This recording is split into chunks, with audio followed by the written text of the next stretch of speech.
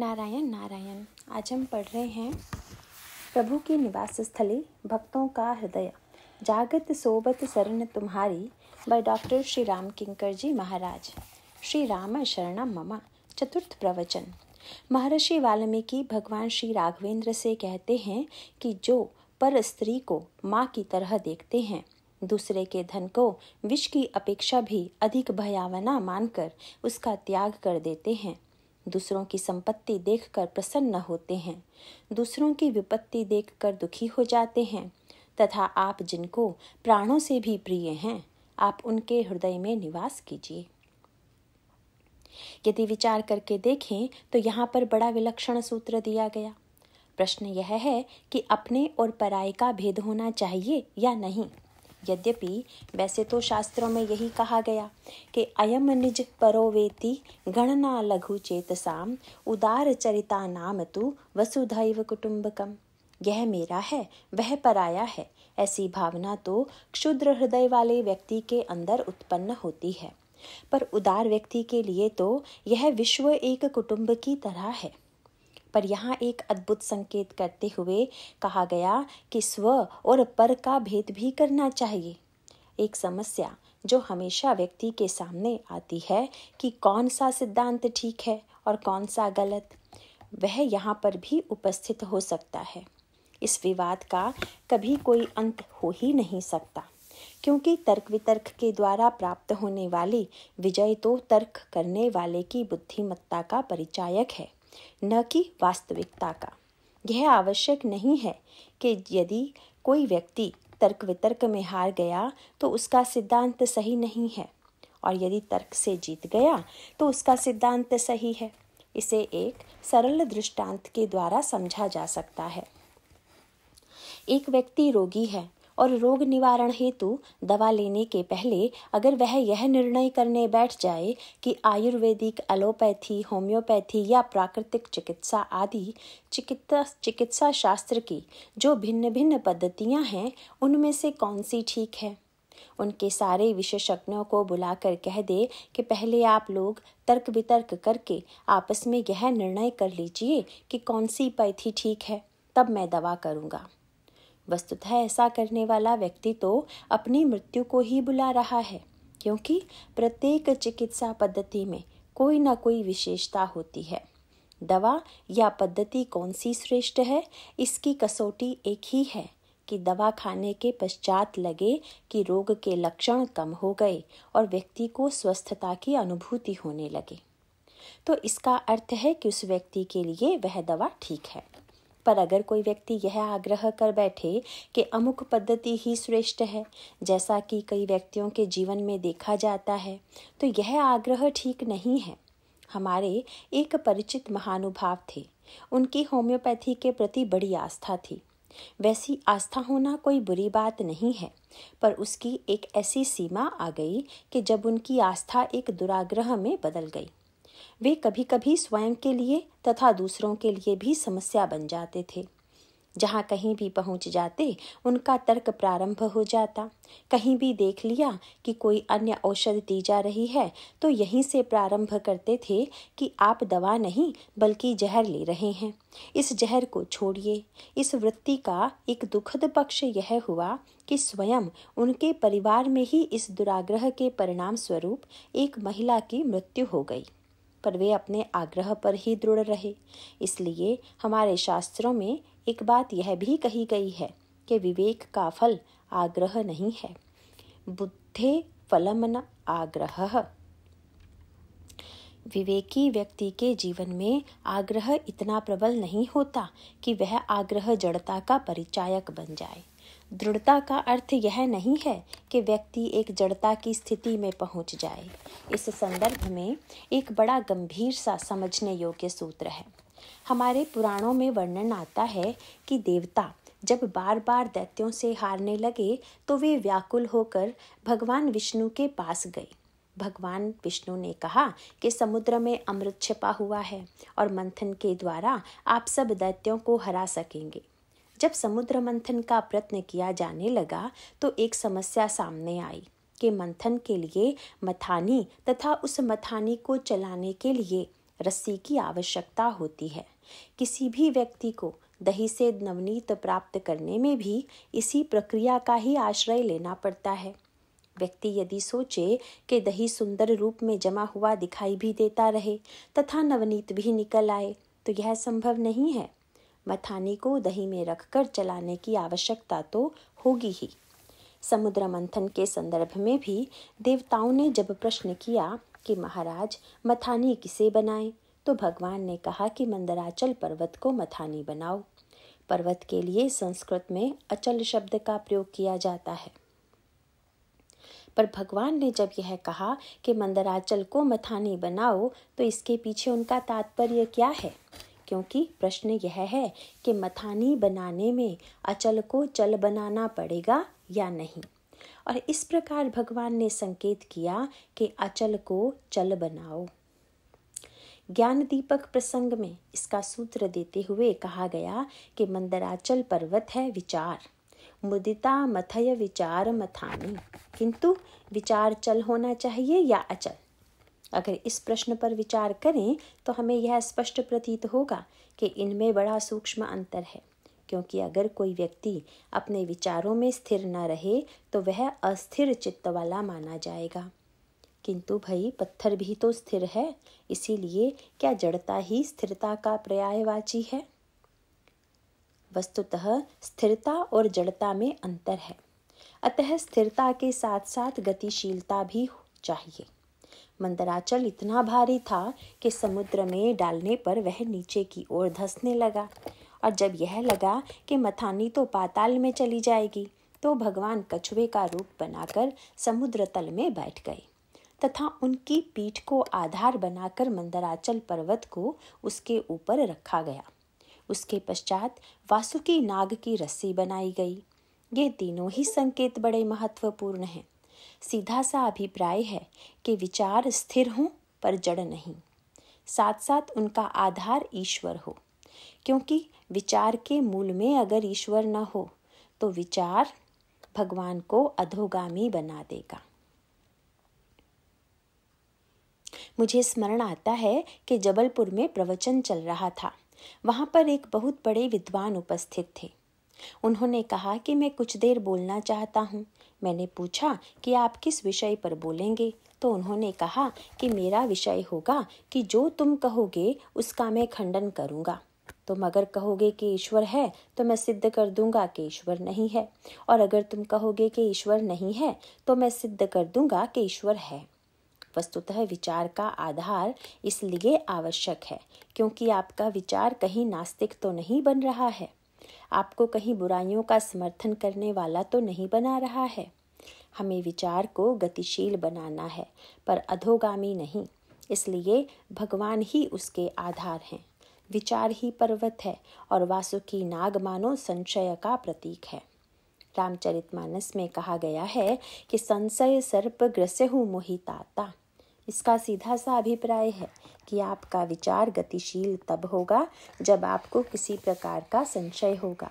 मेरे पास आकर कई व्यक्ति प्रश्न करते हैं कि संशय होना अच्छा है या बुरा? इसका सीधा सा उत्तर है कि संशय होना तो आवश्यक ही है, क्योंकि आपके मन में अगर कोई प्रश्न ही नहीं है, कोई जिज्ञासा ही नहीं है तो आप किसी विषय पर विचार कैसे करेंगे? आप विचार तो तभी करेंगे जब आपके मन में प्रश्न हो, जिज्ञासा हो कि कस्मई देवाय हविषा विधेम। इस ब्रह्मांड की रचना कैसे हुई? इसके मूल में क्या है? अगर अर्जुन के मन में संशय न होता तो गीता का तत्व ज्ञान भी प्रकट न होता। विभीषण के मन में संशय न होता तो रामचरितमानस में जिस धर्म रथ का उपदेश दिया गया है, वह सामने न आता। इसका अर्थ है कि जब हम संशय, विचार और भगवान का आश्रय लेकर केवल पुरुषार्थ करते हैं तो हमें ज्ञान का अमृत प्राप्त होता है। ज्ञान के उस अमृत को पाने के बाद ही व्यक्ति दुर्गुण तथा दुर्विचारों पर विजय प्राप्त कर सकता है। भगवान ने देवताओं से पहले ही कह दिया था कि जिधर वासुकी नाग का सिर हो, उधर जाकर खड़े हो जाना। इसीलिए जब वासुनिक की नाग को लाया गया तो देवता मुख की ओर जाकर खड़े हो गए। यह देखकर दैत्यों को बड़ा क्रोध आया। उन्होंने कहा अच्छा तुम लोग अपनी को ऊँची जाति वाला समझते हो, इसीलिए सिर की ओर खड़े हो रहे हो और हमें नीचा समझकर पूंछ की ओर खड़ा कर रहे हो। हम ऊँचे हैं, इसलिए चलो, तुम आगे पूंछ की ओर रहो और हम लोग सिर की ओर खड़े होंगे। वस्तुतः भगवान तो यही चाहते थे। वे जानते थे कि जो मुख की ओर खड़ा होगा, उसे तो विष का ही ताप सहन करना पड़ेगा। क्योंकि जब वासुकी नाग को मंथन के लिए चलाया जाएगा तो इससे उसे पीड़ा होगी और तब उसके मुख से विश्व की ज्वाला निकलेगी। जब वह विष उगलेगा तो जो मुँह की ओर खड़ा होगा, वह जलेगा, अधमरा हो जाएगा। और जो पूंछ की ओर खड़ा होगा, वह सुरक्षित रहेगा। इस कथा का तात्पर्य है कि संशय को तो आने दीजिए, पर सिर की ओर नहीं, अपितु पूंछ की ओर खड़े होइए। इसका अर्थ है कि अभिमानी बनकर नहीं, अपितु जिज्ञासु बनकर विचार कीजिए। कई लोग जब प्रश्न पूछने आते हैं तो उत्तर भी पहले से ही निश्चय करके आते हैं। वस्तुतः वे जिज्ञासा लेकर नहीं आते, वे तो केवल परीक्षा लेने के लिए आते हैं। उनके मन में जो उत्तर है अगर आप ठीक वही कह दें तो वे कहेंगे कि हाँ ठीक है। पर अगर आपने भिन्न बात कह दी तो कहेंगे कि यह ठीक नहीं है। इस प्रकार जो अभिमानी हैं तथा जिनके संशय का अर्थ जिज्ञासा मूलक नहीं है, वही मानो दैत्य वृत्ति से ग्रस्त हैं। अर्जुन जब प्रश्न करते हैं तो अभिमान से नहीं करते। अपितु वे तो यही कहते हैं कि मैं ठीक ठीक नहीं जानता। अतः शिष्यस्ते हम शाधि माम प्रपन्नम। आप कृपा करके अपना शिष्य मानकर मेरा संशय दूर कीजिए। इसका अर्थ है कि श्रद्धा विहीन अभिमानी व्यक्ति जब अभिमान के अधीन होकर प्रश्न करता है तो उसका परिणाम विनाश होता है। पर जो व्यक्ति जिज्ञासा लेकर संशय करता है, उसके परिणाम में कल्याण तथा आनंद की अनुभूति होती है।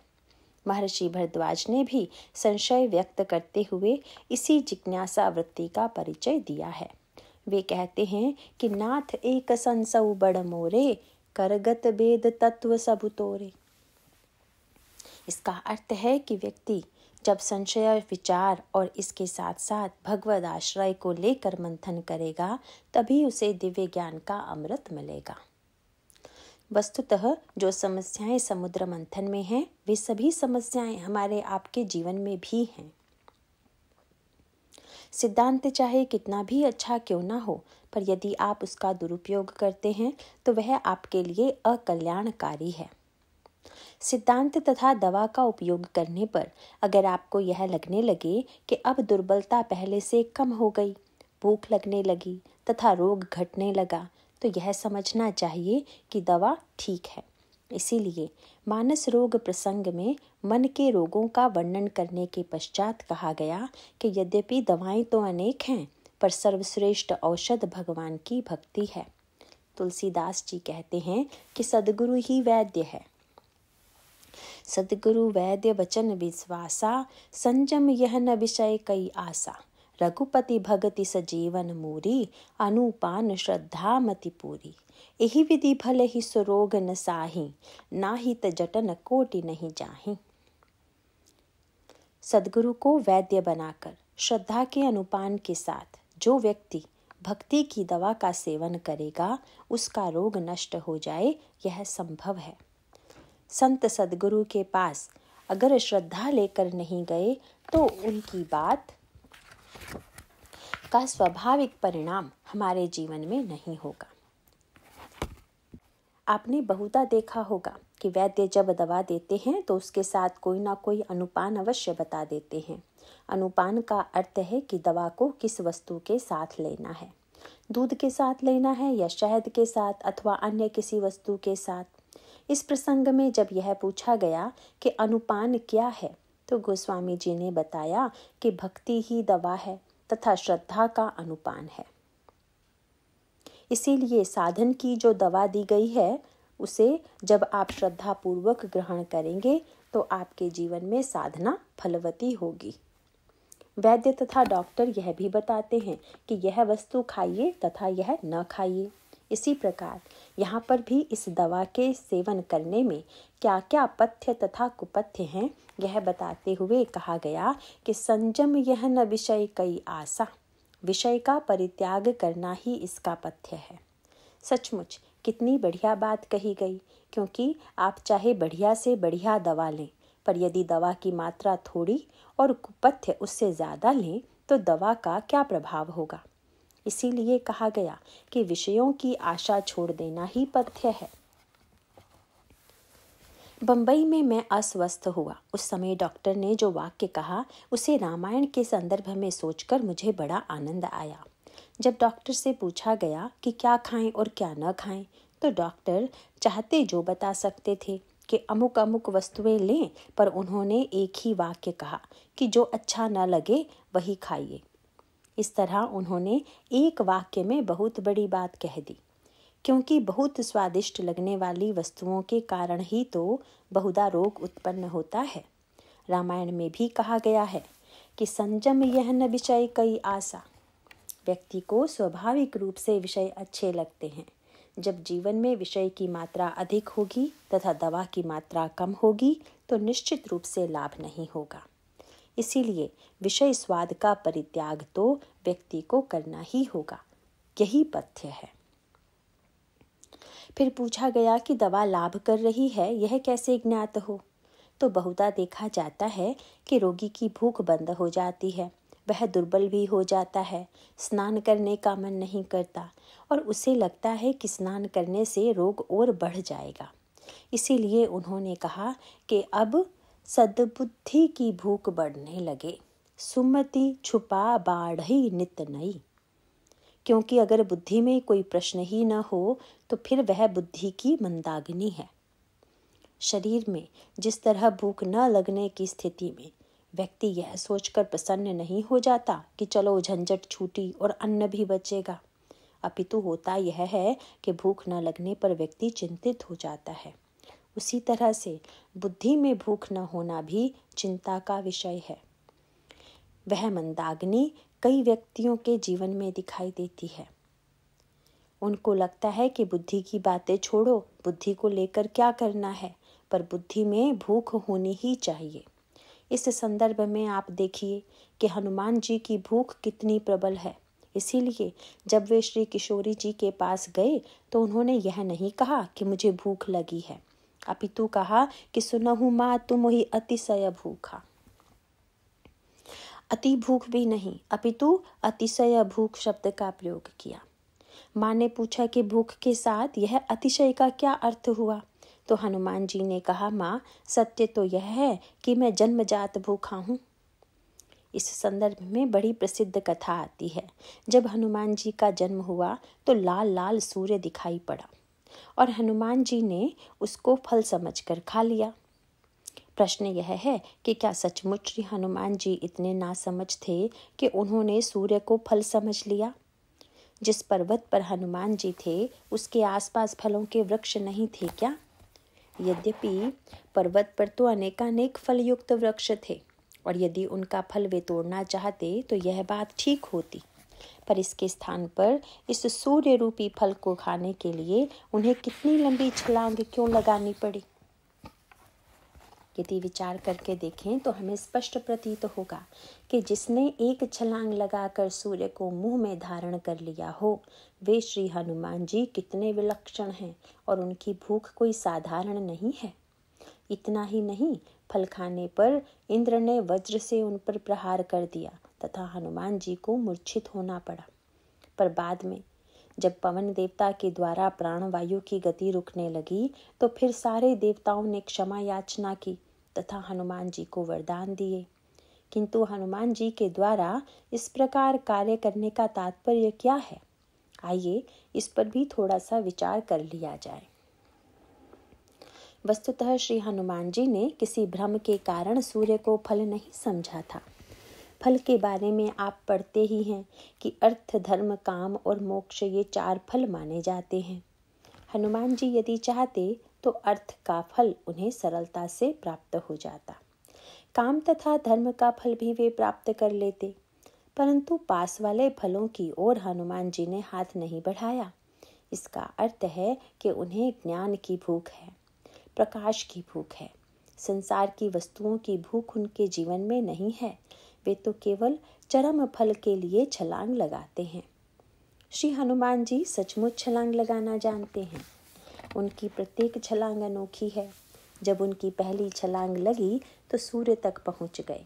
दूसरी छलांग जब लंका की दिशा में लगाई तो श्री सीता जी तक पहुँच गई तीसरी छलांग में लक्ष्मण जी के लिए दवा लेने द्रोणाचल पर्वत पर पहुँच गए। और चौथी छलांग लगी तो लंका से सीधे अयोध्या पहुँच गए और वहाँ जाकर श्री भरत जी को संदेश सुनाया। इस प्रकार श्री हनुमान जी की ये चार छलांगे हैं, पर छलांग लगाने का अधिकार सबको नहीं है। हमारे लिए तो सीढ़ी से चढ़ना ही उपादेय है। इसका व्यवहारिक पक्ष है कि व्यक्ति यदि यह सोचे कि मुझे अर्थ, धर्म तथा काम का फल नहीं चाहिए मुझे तो केवल मोक्ष चाहिए, यह उचित नहीं है। साधारण व्यक्ति श्री हनुमान जी का अनुसरण करके छलांग तो लगा दे, पर अलग, अगर छलांग सही ना लगी तो वह नीचे भी गिर जाएगा। इसीलिए श्री हनुमान जी की भूख माने सुमति क्षुधा, अर्थात ज्ञान तथा प्रकाश की भूख। हनुमान जी ने सूर्य को मुख में धारण कर लिया। इसका भी अर्थ दूसरा था। हमारे पुराणों में बड़ी सांकेतिक कथा आती है कि ठीक उसी समय सूर्य ग्रहण लगने वाला था। समय पाकर ग्रहण लगता है और सूर्य का प्रकाश छिप जाता है। इसका अर्थ है कि सूर्य के साथ भी राहु क्यों समस्या है? यह राहु मात्सर्य तथा ईर्ष्या की वृत्ति का परिचायक है। वर्णन आता है कि राहु का रंग है काला तथा सूर्य है उज्जवल। और राहु यह चेष्टा करता है कि भले ही हम ज्ञान सूर्य को हमेशा के लिए न मिटा सकें, पर थोड़े समय के लिए इसे ग्रस कर अंधेरा तो अवश्य ही फैला सकते हैं। हनुमान जी के जन्म के समय जब राहु सूर्य की ओर बढ़ रहा था, उसी समय हनुमान जी छलांग लगाकर पहुँचे और उन्होंने सूर्य को मुँह में धारण कर लिया। लोगों को लगा कि उन्होंने सूर्य को खा लिया, पर विवेकी व्यक्ति समझ गए कि खा नहीं लिया। अपितु राहु के द्वारा खाए जाने से सूर्य को बचा लिया। क्योंकि हनुमान जी अगर मुख में न लेते तो राहु मुख में ले लेता। श्री हनुमान जी ज्ञान का फल मुख में धारण करते हैं। इसका सीधा सा तात्पर्य है कि जब वेद मंत्रों तथा श्लोकों का पाठ किया जाएगा तो मुख से ही तो किया जाएगा। इसीलिए यह कहा जा सकता है कि मुख का कितना बढ़िया उपयोग करना श्री हनुमान जी जानते हैं दूसरा भला क्या जानेगा, जिन्होंने जन्म लेते ही सूर्य को मुख में धारण कर लिया। जब दूसरी छलांग लगाने लगे तो समय भगवान श्री राम ने मुद्रिका दी और प्रभु मुद्रिका लेते ही प्रभु मुद्रिका मेली मुख माही उसे मुख में धारण कर लेते हैं।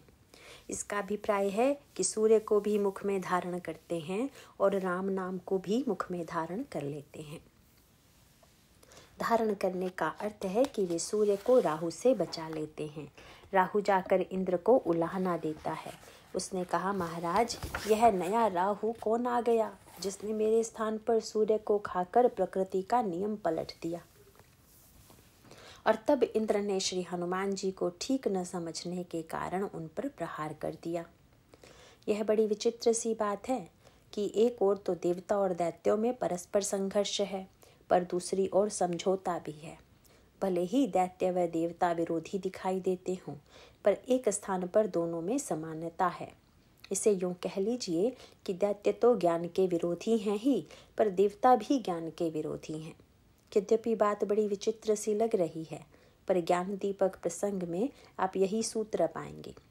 वहाँ पर लिखा हुआ है कि इंद्रन सुरन ज्ञान सुहाई, विषय भोग पर प्रीति सदाई।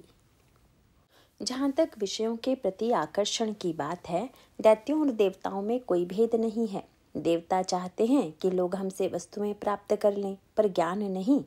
क्योंकि ज्ञान प्राप्त कर लेने के बाद तो हमारा महत्व ही समाप्त हो जाएगा। इसलिए हमारे यहाँ एक बात बड़ी सांकेतिक भाषा में यह कही गई है कि जब कोई व्यक्ति तत्व ज्ञान प्राप्त कर लेता है तो वह इंद्र के सिर पर पैर रखता हुआ ऊर्ध्व लोक की ओर जाता है। इसका सांकेतिक भाषा का अर्थ यह है कि विषयों का सर्वश्रेष्ठ स्वामी जो इंद्र है, ज्ञान प्राप्त व्यक्ति, अब उससे ऊपर उठ रहा है। इंद्र ने राहु का पक्ष लेकर हनुमान जी पर प्रहार कर दिया, जिसके कारण श्री हनुमान जी एक क्षण के लिए मूर्छित हो गए।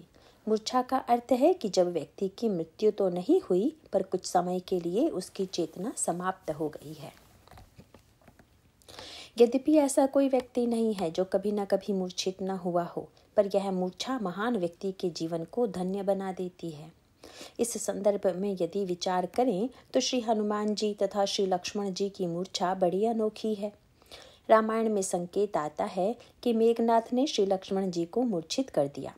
इसके पीछे उसका उद्देश्य यह था कि इस स्थिति में ले जाकर, अगर इसे मैं रावण के चरणों में रख दूँ तो वे बड़े प्रसन्न होंगे।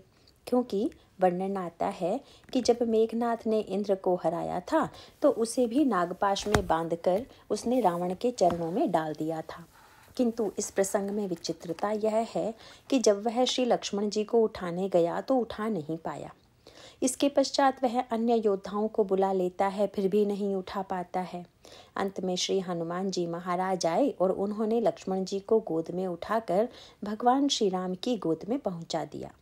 इसका सरल सा तात्पर्य यह हुआ कि अगर भक्त मूर्छित होता तो भी उसे रावण के चरणों में डालना संभव नहीं है। विषयी इंद्र तो रावण के चरणों में भेजा जा सकता है, पर श्री लक्ष्मण जी नहीं।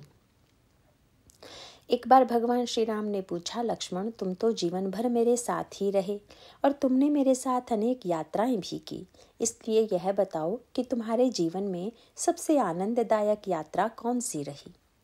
तब उत्तर देते हुए लक्ष्मण जी ने कहा, महाराज, मेघनाथ ने जब शक्ति प्रहार किया, उस समय जो यात्रा हुई वह अनुपम थी, क्योंकि अन्य यात्राओं को मैंने चलकर पूरा किया। पर वह यात्रा तो ऐसी थी कि जो बिना चले हुए ही पूरी हो गई। मैं एक पग भी नहीं चला और संत ने अपनी गोदी में उठाकर आपकी गोदी में पहुँचा दिया। सचमुच प्रभु, मूर्छा में की गई वह यात्रा तो सबसे आनंदमयी रही। श्री हनुमान जी जब वज्र के प्रहार से मूर्छित तो हो गए तो पवन देवता ने वायु की गति रोक दी। संसार में व्यक्ति वस्तु का मूल्य उपयोगिता के आधार पर न करके, उसकी दुर्लभता के आधार पर करता है। जो वस्तु कठिनाई से मिले, वह संसार में अधिक कीमती होती है। यदि व्यवहारिक पक्ष पर ध्यान दें तो यह ठीक भी है और यह संसार के जीवों के लिए कल्याणकारी भी है। आज हीरा महँगा है और गेहूँ महँगा होने पर भी हीरे के मूल्य की तुलना में कहीं ज़्यादा सस्ता है। किंतु भाई प्रश्न यह उठता है कि हीरा अधिक उपयोगी है या गेहूँ? तब सीधा सा उत्तर यह है कि हीरे के बिना तो करोड़ों व्यक्ति जीवित रहते हैं, पर गेहूँ के बिना जीवित रहना संभव नहीं। इसीलिए यह कहा जा सकता है कि हीरा अपनी दुर्लभता के कारण महँगा है तथा गेहूँ सुलभता के कारण सस्ता है। अन्न के बिना आप दो चार दिन रह सकते हैं, पर जल के बिना रहना कठिन हो जाता है। जल का दाम अन्न से भी कम है। जल के बिना भी कुछ समय तक काम चल सकता है, पर अगर वायु न बहे तो व्यक्ति की मृत्यु तुरंत हो जाएगी। लेकिन वायु का दाम बिल्कुल नहीं है। सचमुच, कैसा विचित्र नियम है कि जिसे सबसे ज़्यादा मूल्यवान होना चाहिए, वह मूल्य रहित है। पवन देवता ने वायु प्रवाह रोक कर मानो यह कहा कि आप लोगों ने सूर्य का मूल्य तो समझा कि प्रकाश बड़े महत्व का है। पर आप लोग यह भूल गए कि प्राण तो वायु से ही है। श्री हनुमान जी की भूमिका रामायण में इसी रूप में है। वे सुग्रीव के प्राण की रक्षा करते हैं, बंदरों के प्राण की रक्षा करते हैं। लंका में जाकर श्री किशोरी जी के प्राण की रक्षा करते हैं औषधि लाकर श्री लक्ष्मण जी के प्राण की रक्षा उन्हीं के द्वारा होती है। तथा अंत में श्री भरत जी के प्राण की रक्षा भी वे ही करते हैं। ये मानो हमारे शरीर में स्थित पंच प्राण हैं और श्री हनुमान जी इन पाँचों प्राणों की रक्षा करते हैं। यह प्राण वायु वस्तुतः भक्ति है। भक्ति इतनी सुलभ है कि व्यक्ति उसका दाम ही नहीं लगाता। किसी संत या महापुरुष से कोई पूछे कि हम किसका जप करें और संत कह दें कि राम नाम का तो कभी कभी व्यक्ति सिर पीट लेता है कि अरे, यह तो हम पहले से ही जानते थे। वह सोचता है कि इस दो अक्षर के राम नाम में भला क्या रखा है। उस बेचारे को लगता है कि मंत्र भी मिले तो कोई कठिन शब्द वाला और लंबा सा। वस्तुतः व्यक्ति दुर्भाग्यवश यह समझ नहीं पाता कि यह सुगम मंत्र कितना मूल्यवान है। पवन देवता इसी सत्य की अनुभूति कराते हैं। अंत में यह मूर्छा तो बड़ी आनंददायी हो गई। क्योंकि जब प्रत्येक देवता ने आकर हनुमान जी को आशीर्वाद दिया कि भविष्य में हमारे अस्त्रों का प्रभाव इस बालक पर नहीं होगा और सबका आशीर्वाद श्री हनुमान जी के जीवन में चरितार्थ होता है।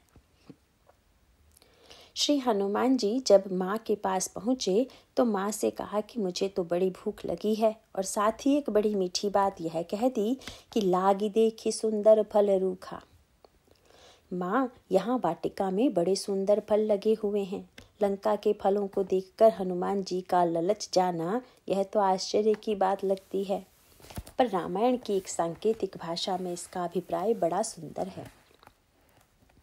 रावण की वाटिका के फल सुंदर हैं। रावण है मूर्तिमान मोह, और श्री किशोरी जी मूर्तिमती भक्ति हैं। हनुमान जी में ज्ञान के प्रकाश की भूख तो पहले थी और आज माँ से कहा कि माँ, मोह की वाटिका में बड़े सुंदर फल लगे हुए हैं। क्या मैं इन्हें खा लूँ? सचमुच, मोह की वाटिका के फल तो बड़े सुंदर प्रतीत होते हैं। जरा अपने जीवन में झाँक कर देखिए कि विषय हमें कितने सुंदर लगते हैं। यद्यपि फल का सुंदर होना एक गुण है, पर यह मुख्य गुण नहीं है। इंद्रायण का फल देखने में बड़ा सुंदर होता है। पर स्वाद में इतना कड़वा होता है कि खाना तो दूर रहा, उसको आप मुँह में भी नहीं डाल सकते। ज्ञान के फल में प्रकाश है, उज्ज्वलता है, पर संघर्ष भी है। श्री सीता जी तो भक्ति देवी हैं। वे यह सूत्र देती हैं कि मोह की वाटिका में भी फल कैसे खाया जा सकता है। श्री हनुमान जी ने कहा था कि, लागी देखी सुंदर फल रूखा। किंतु माँ ने कहा कि सुंदर को मधुर बनाने का उपाय मैं बताती हूँ। और वह सूत्र यह है कि रघुपति चरण हृदय धरी, तात मधुर फल खाऊं। जब तुम विषयों को मोह के फल के रूप में लोगे तो वे तुम्हें जीवन में नीचे गिरा देंगे। पर यदि भगवान को अर्पित करने के पश्चात उस फल को स्वीकार करोगे तो वह सुंदर ही नहीं रह जाएगा, अपितु मधुर भी हो जाएगा। श्री हनुमान जी ने पहले तो उस वाटिका के मधुर फल खाए और उसके पश्चात सारे बाग को उजाड़ दिया। जो राक्षस आए, उनको मार डाला।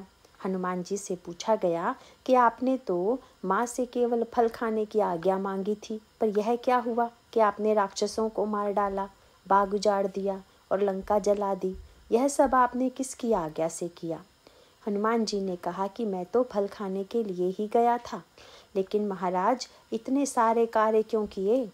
हनुमान जी ने कहा, भाई, यह सब तो फल खाने का फल था। आश्चर्य हुआ, फल खाने का फल माने? उन्होंने कहा, भाई, भक्ति की कृपा का फल पाने के बाद भी अगर मोह की वाटिका ना उजड़े, दुर्गण के राक्षस न मरे और भोगमयी लंका न जले तो कृपा का फल ही क्या है? इसीलिए रामचरितमानस में सूत्र दिया गया कि जब कोई व्यक्ति स्वस्थ होगा तो उसे सुंदर बुद्धि की भूख लगेगी।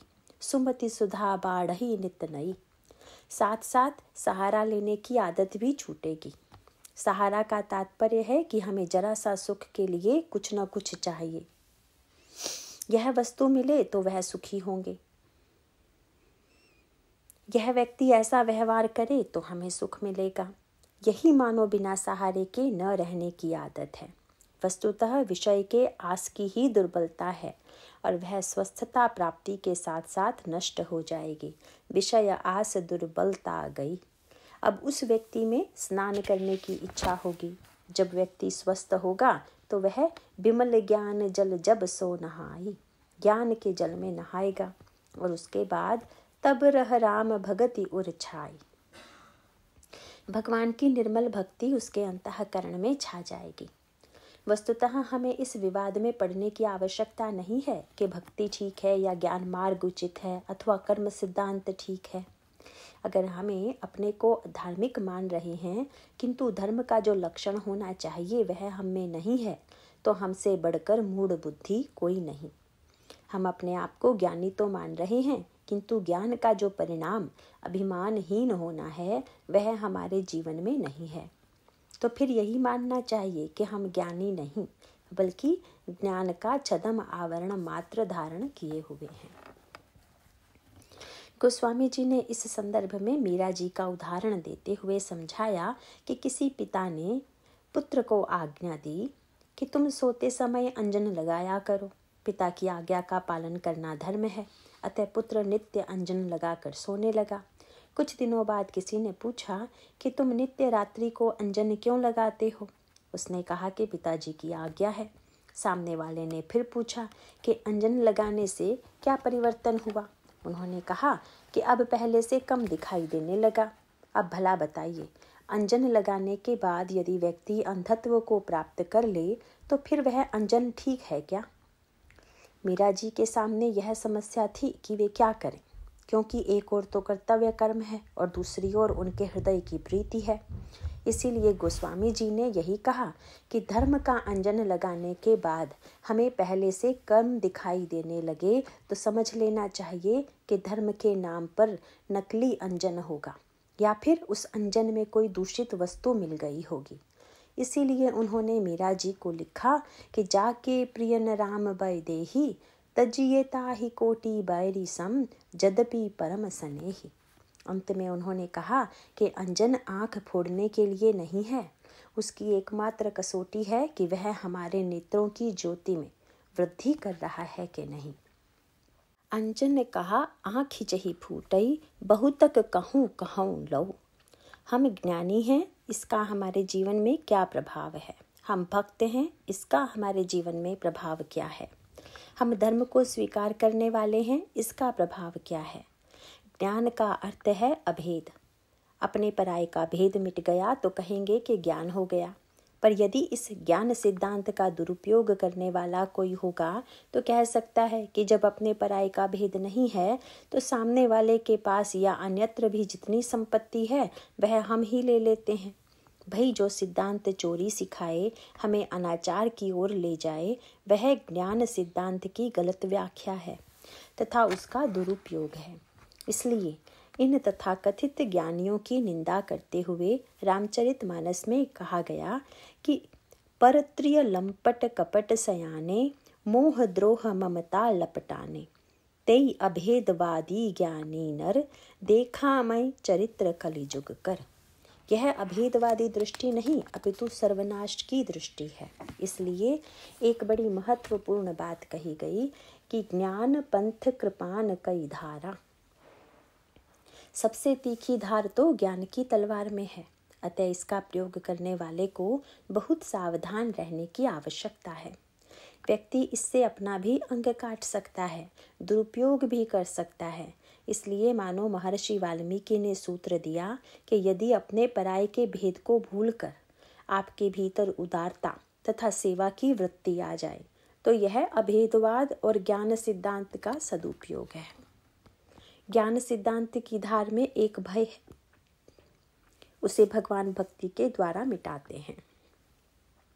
श्री हनुमान जी ने पूछ दिया, प्रभु, आपकी भक्ति कैसे हो? तो प्रभु ने कहा कि बस सारे संसार को मेरा रूप मान लेना मेरी भक्ति है, पर उसके साथ एक विशेष वाक्य यह जोड़ दिया कि सो अनन्य जाके असी, मति न टरई हनुमंत मैं सेवक सचराचर रूप स्वामी भगवंत। इस सारे ब्रह्मांड को तो मेरा प्रभु का रूप जाने तथा अपने को प्रभु का सेवक हूँ ऐसा माने। तर्क की दृष्टि से भले ही यह ठीक न बैठे पर सच्चा अर्थ यही है। यह कहा जा सकता है कि जब सारा संसार ब्रह्म का रूप है तो फिर हम ब्रह्म नहीं हैं क्या?